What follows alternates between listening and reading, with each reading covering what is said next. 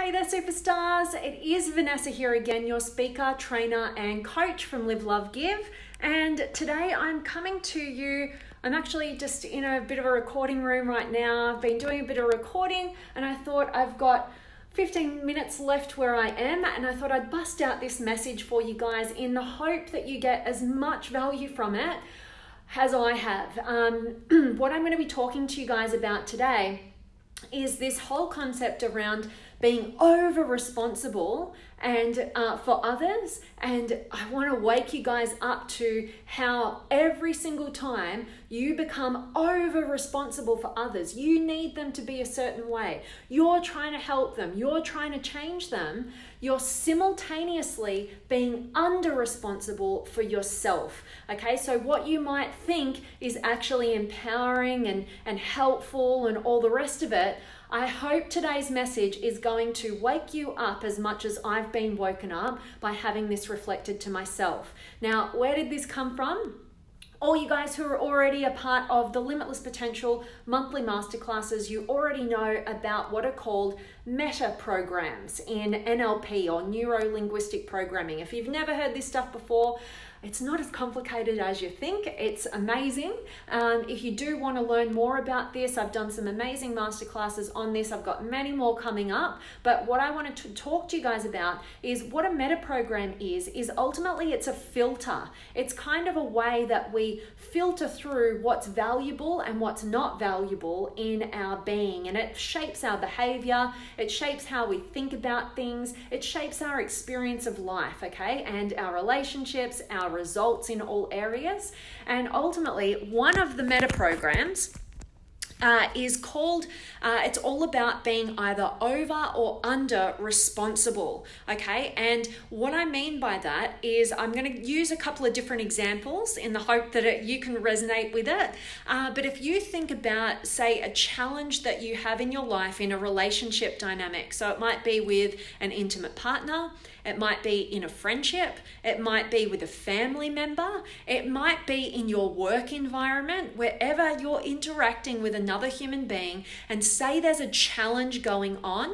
I want you to think about it this way. Okay, so let's use intimate relationship because it's just so easy to get to so and how uh, to get to the challenge right so let's look at the intimate relationship and let's look at what i've experienced many times in my life and i'm sure some of you guys might relate to this codependency all right, what is codependency?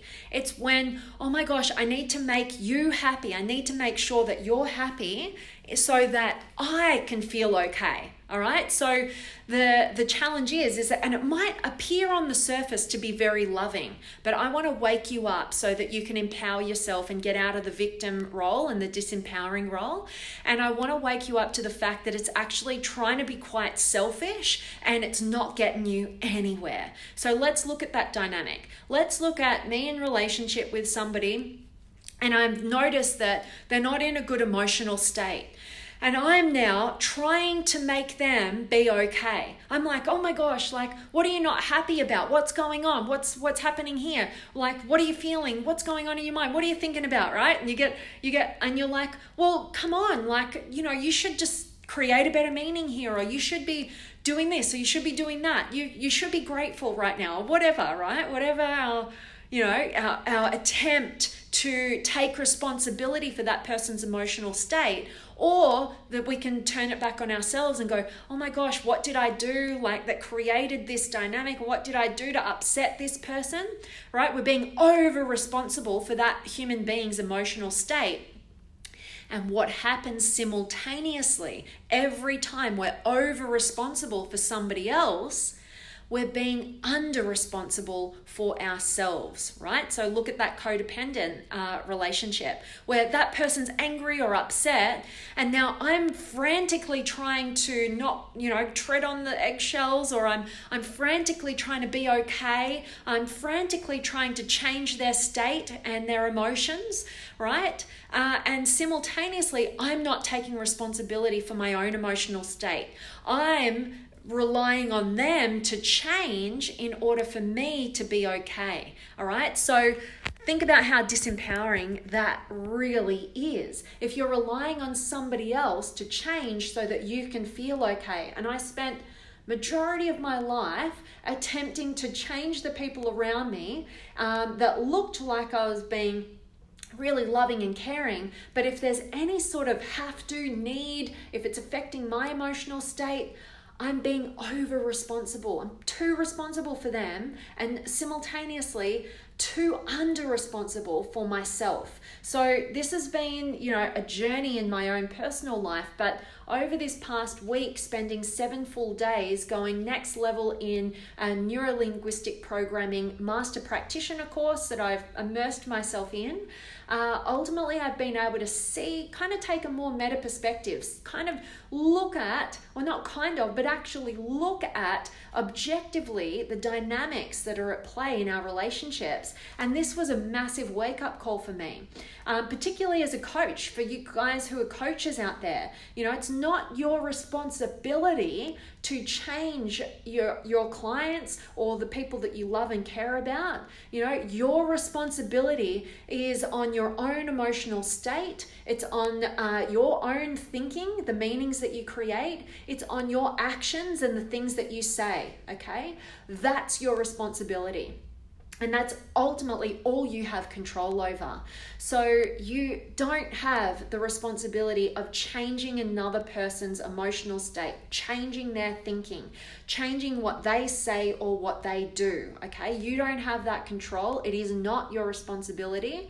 It is your responsibility to take full control of your feeling, your thinking, your saying, and your doing. Okay, so if you have a relationship in your life where it's throwing you off and you're like, oh, they can't be happy, or they're angry and it's upsetting me, or it's making me feel sad, this is a wake up call for you to be self reflective. Observe yourself, observe what's triggering you. Notice that you're, it's not your responsibility to change another person's emotional state of being or whatever they're doing, right?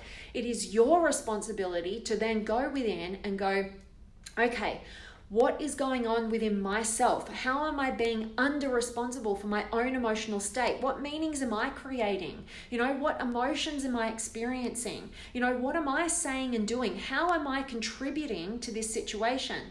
And remembering that emotional intelligence is your ability to make a situation better rather than worse based on your input to it. How do you do that? You stop trying to be over responsible for the people around you and you start taking full responsibility for your emotional state and your interaction with your outside world. So, next time you find somebody in your life that you uh, like jump to be over responsible for and shift and change them and, and feel affected by it, just hoping that this message will just create that little bit of space. That little bit of space is all you need to go, whoa, not my responsibility, my responsibility. And the best way you can ever support others, the people that you love, is to take responsibility of your own happiness, your own state of being, and how you interact with your outside environment not trying to control or change anybody. And every time you do do that you're selling yourself short. You're not you're you're throwing away your power to the hands of um, somebody else. And you're simultaneously you know reinforcing to that other person that they're not able to make the shifts and changes that they need to. Okay so stop disempowering the people around you and when you think you're trying to empower them you're not you're not taking responsibility for yourself and you're trying to be too responsible for them it's not working so wake up to that dynamic we all play it at some degree in some relationship if not all of them. So I'm hoping that this gives you the gift that it has given me, and also hope it triggers your. Um, you know, your thirst for understanding yourself at a whole new level. If it does, please do join us in the Limitless Potential uh, monthly mastermind um, la, la, la, monthly masterclasses. We've got a new one coming up in a week or so can't wait to share that with you guys. Um, but we do have programs and, and classes and coaching all on this stuff so that it really helps you to, you know, stop being the subject in all the suffering and pain and actually look objectively on your life, your experience, all the dynamics at play, and ultimately end your own suffering and set yourself free. All right, so let me check in with you guys. Um, have you got any questions or comments or feedback, or you just want to say hi? I love connecting with you guys. I'm going to check in with you guys now before I race off. Um, but I've got David in the house and Loki, great to see you, and John. Happy Monday to you too, my friend. And Tayeb's here, and Judy and Jerry, also from Quebec City in Canada. I love love it. Great to see you again. And Emma's here, and Julie and Justin and Jerry. Uh, we can only be our true and authentic and good, and remain open to interfere for the best.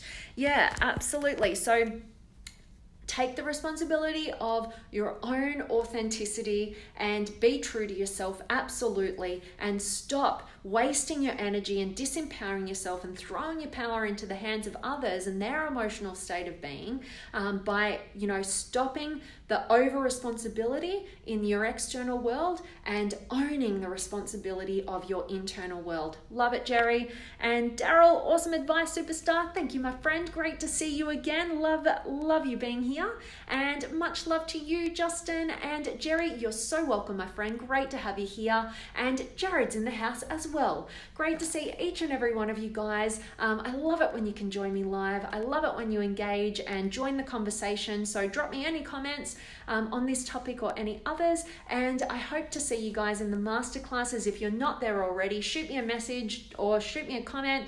I'll um, get you set up. And um, as always, guys, I'm sending you all of my love, light, blessings, gratitude, energy, enthusiasm, everything extraordinary coming to you to wherever you are in the world today. I really do hope that it's beautiful, amazing, and extraordinary, that you're doing something super empowering, and that today's message has definitely resonated with you and got you thinking differently, got you taking a meta perspective on your life. Whatever we can go meta to, whatever we can look at objectively, we can overcome. Okay? Okay, so it is your power. And if you want to know how, what tools you need and how to be supported through those processes towards your freedom and your fulfillment, you want to be part of the masterclasses. So let me know. I'm signing off. Um, oh, I can see Sam, Sam's in the house as well. Good to have just met you over this past week and gone through a major journey. Um, and yeah, it was all good stuff with all of my NLP awesome peeps. So I'm signing off. I'm sending you guys all of my love and I cannot wait to see you soon. Okay, much love.